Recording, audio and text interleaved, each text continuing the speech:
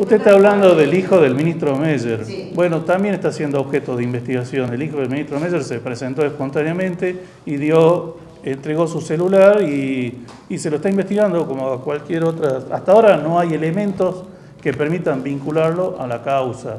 Sin embargo, en, en en un, en un acto de colaboración por las versiones que estaban dando, se presentó con un abogado espontáneamente y propuso una serie de elementos probatorios para acreditar lo que él considera su inocencia y que, le reitero, a la fecha no hay nada que lo vincule a la causa. Simplemente, y esto hago referencia a las versiones de las redes sociales, que dan cuenta de una serie de circunstancias, entre esas esta que le acabo de referir. Por tanto, el hijo del ministro Meyer se presentó ante la Fiscalía, compareció, dejó su celular y eso está siendo objeto de investigación en, el momento, en este momento, en- al momento en, en que estaba el fiscal actuante y va a ser objeto de investigación con las medidas probatorias que disponga el doctor Osinaga, que es el fiscal de la feria.